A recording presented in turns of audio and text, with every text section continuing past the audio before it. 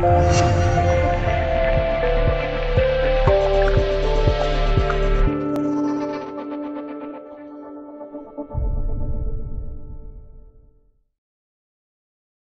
郁症、癌症和艾滋病曾经被世界卫生组织列为念一世纪亟待人类克服的三大疾病。亦有不少人把抑郁症归结于性格或心理上出现了问题，以为只有性格内向的人才会患上抑郁症。事实上，抑郁症并不是单纯的心理问题，开朗的人也会得抑郁症，它与去甲肾上腺素、多巴胺等神经递质的功能紊乱有关，导致大脑总是会传递到一些不愉快的信息。不良事件只不过是诱因，抑郁情绪和抑郁症也不相同。抑郁症是一种严重的精神类综合症，它不仅包含沮丧、悲伤，还有丧失兴趣、疲倦、焦虑、厌食或暴食、失眠或嗜睡等因素。二、抑郁症的表现症状：一、心境低落，主要表现为情感低落、抑郁、悲观。在心境低落的基础上，患者会出现自我评价降低，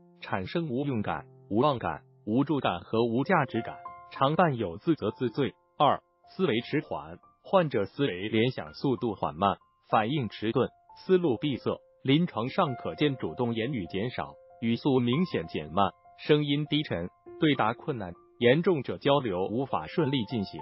三、意志活动减退，患者意志活动呈显著持久的抑制，临床表现行为缓慢，生活被动疏懒，不想做事，不愿和周围人接触交往，严重时连吃。喝等生理需要和个人卫生都不顾，蓬头垢面，不修边幅。